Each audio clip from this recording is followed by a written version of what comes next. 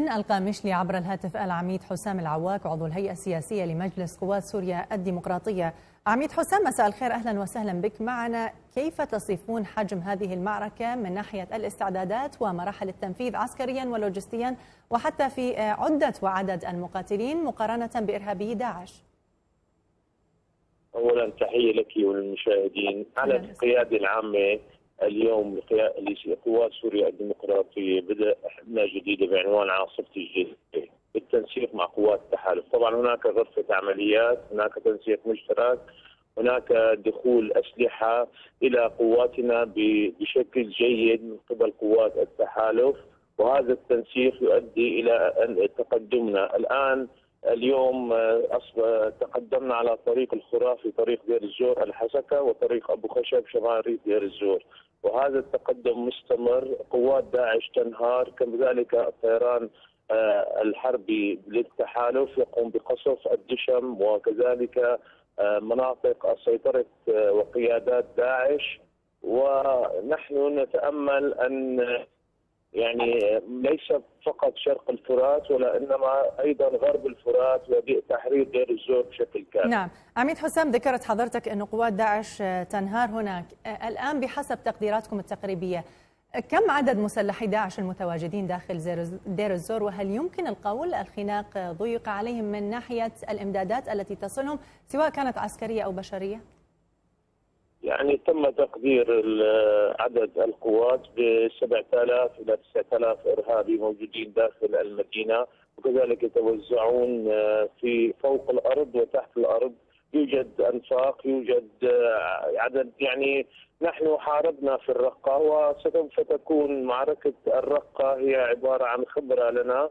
وسنقابل في دير الزور بنفس الطريقة ويمكن أن تكون هناك تكتيكات جديدة وخاصة فيما يتعلق بعمليات الإنزال التي أصبحت قواتنا متمكنة بهذا الموضوع وسنحقق انتصار كامل إن شاء الله في الأيام القادمة. عميد حسام هل من المتوقع عقد تحالفات مع فصائل أخرى غير مجلس دير الزور العسكري لتسريع دحر داعش داخل المدينة؟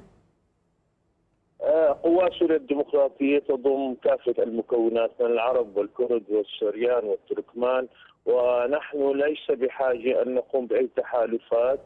القوات قوية نملك من السلاح ما يكفي نتصدى للمجموعات الإرهابية. أما فيما يتعلق إذا بالنسبة لقوات النظام قوات النظام سبع سنوات ولم تستطع أن تتقدم. فتحوا كريدور منذ ثلاث أو أربع أيام إلى اللواء 137 كما قامت داعش بإحباط تقدمهم وقامت بقتل 300 عنصر من النظام وعدد كبير من الضباط. طيب هاي من نعم تفضل أكمل. فنحن القوات المعتمدة نحن قوات تضم كافة مكونات الشعب السوري آه، لدينا أخلاقيات معينة لدينا حاضنة شعبية نتقدم بكافة المناطق. في ظل قوة آه، هذه القوات التي ذكرتها حضرتك هل من سقف آه، زمني متوقع للمعركة؟